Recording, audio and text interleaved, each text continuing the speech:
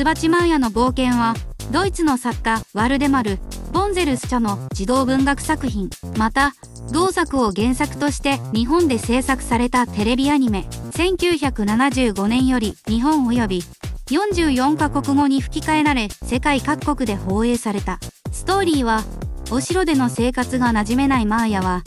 月をついて逃げ出し、親友のウィリーと一緒に外の世界で生活していくことに、バッタのフィリップとの出会い、自然の中で繰り広げられる騒動など、いろいろなことを通して、マーヤとウィリーは、一歩ずつ成長してゆく。